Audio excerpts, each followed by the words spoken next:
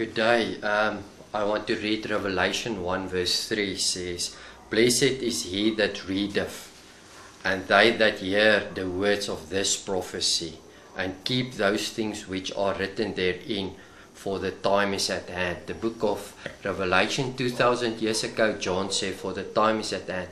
But blessed is those who hear it. Blessed is those who speak it. Blessed are those who understand it. You are not blessed if you do not understand the words. You are not blessed if you cannot hear the words with the Spirit of God. Um, and if you think the book of Revelation is opening the end time and all this calamity and the Antichrist stuff, no, it's the opening of the Word of God. It's the opening of Jesus Christ. And when you understand Jesus Christ, the mystery that was hidden for many ages, it will be a blessing to you.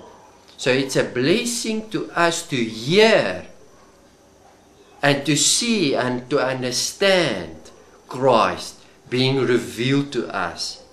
Where's Christ? Christ in me, the hope of glory. And if we can see that, we will be blessed in Jesus' name.